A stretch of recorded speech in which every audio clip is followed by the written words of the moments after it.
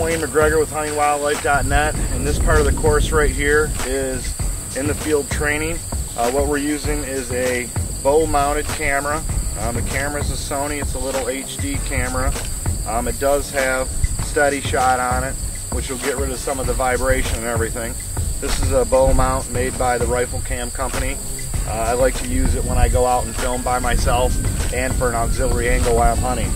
Um, I basically just um, use my Nikon Archer Choice uh, rangefinders on the target right there. We're at 20 yards right now. What I'm to do is I'm to take one shot here. I dialed it at 20 yards at Ed's Archery. Um, I basically bought this bow from Ed's Archery. I didn't buy it. He gave it to me as part of my sponsorship. They're just great folks, and they've been a sponsor for two years. But what I'm to do is I'm to take a 20 yard shot, and uh, I didn't get an opportunity to adjust my pins for distance. So then I want to go to 30, 40, 50, 60, and 70. And I'm actually practicing the way I would hunt. So I hunt with the bow cam on. I want to practice with it.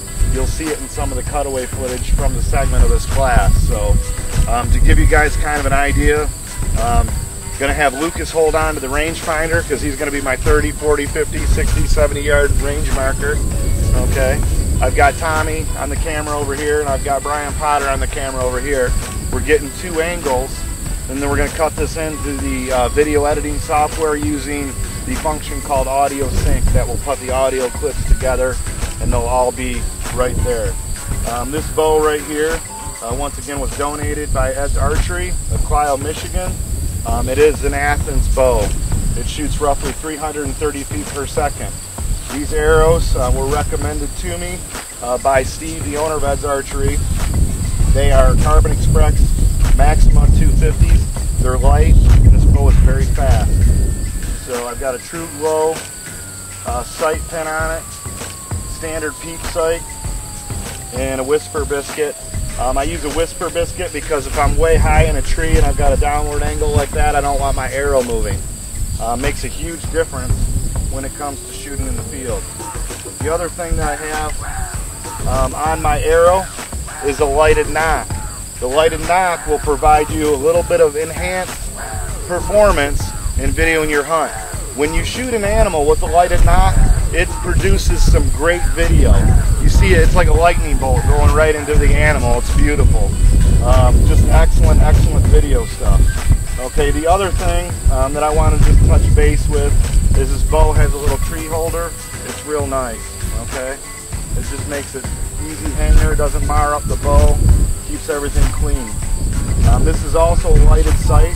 TruGlo sight has a little light. You just turn it on, it lights it up for the low light conditions.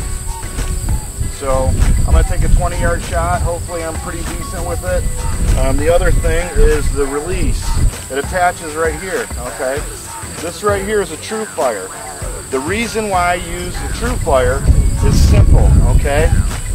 If I'm hunting by myself, I have my bow hung up, okay? I don't have to hold on to this release. I don't have it strapped around my wrist. I don't have it making any noise, okay? I have a hand free to run an auxiliary camera. I want to do things as easy as possible. So as easy as possible is I remove my bow. I have nothing on my wrist making noise like the wrist releases. If you're trying to operate a camera with the wrist release on, it's not easy. So I just pull it off. It's attached right to my bow. I draw back. I'm ready to shoot. Okay. Um, the biggest thing with using the bow mounted cameras is practice practice your stability, okay? When you take your shot and you have this camera mounted, for an example, okay, I'm gonna shoot and then I'm gonna simulate the animal running off, okay? But I'm always gonna keep my arm extended. If I don't keep my arm extended or the animal runs off or there's fatigue, I will pull it close to my body, hold it against me as a stability fixturing point, and I will operate the camera on the bow just like this. But the whole idea is keep it steady, keep it in the shot. Um, I have the camera turned on right here. I'm gonna basically hit record and hopefully I don't look like an idiot taking a 20 yard shot, but here it goes.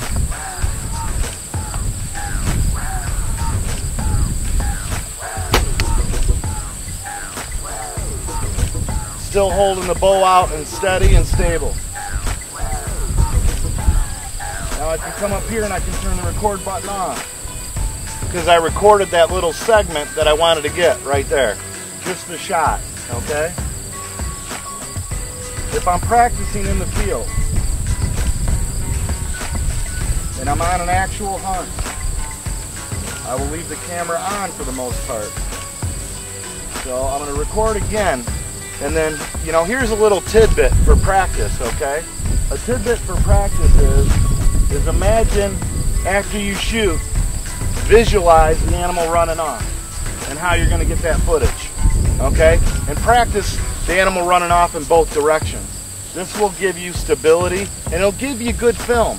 If you wanted to go out and just, you know, Joe Schmo off the street, you want to go out, video your own hunt, you can do it with this product right here video the whole hunt. After you take the shot and you want to video the celebration of the hunt, right? Obviously don't have an arrow in it, but let me, I'll just pop this real quick. So take a little arrow shot. And then I'm going to simulate the animal running off.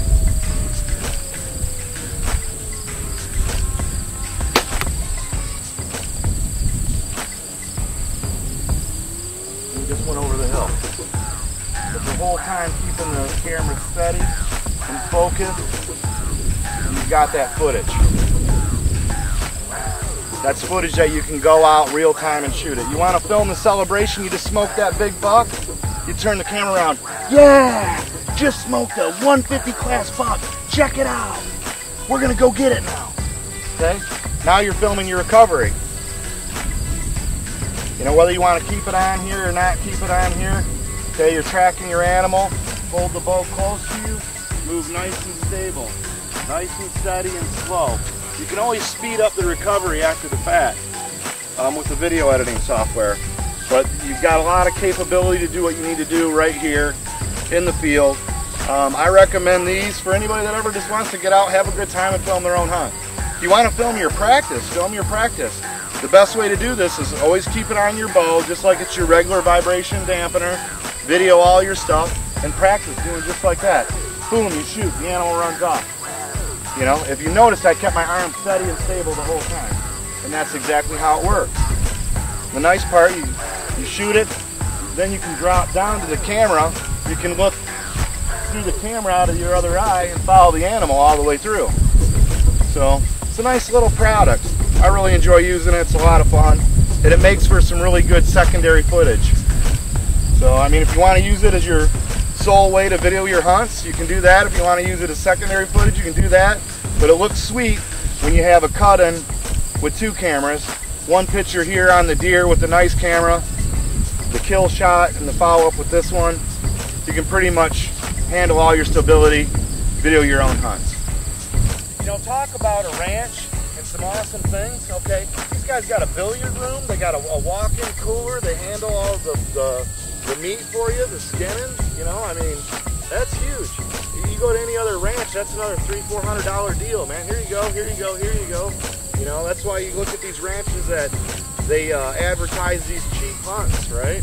Oh yeah, the hunt's real cheap, but hey, when they when you get there, how are you gonna process an 800 pound elk? I'm like, they're like, oh yeah, you gotta hang it, you gotta do this, you gotta pull it out of the field.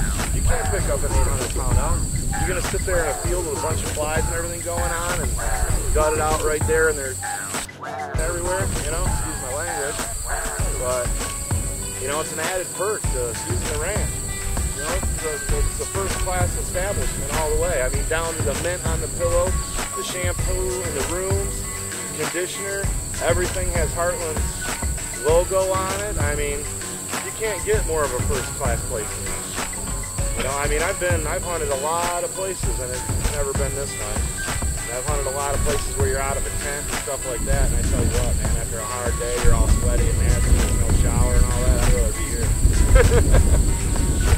it's what it is, you know. Definitely spoil a hunt for sure. Yeah.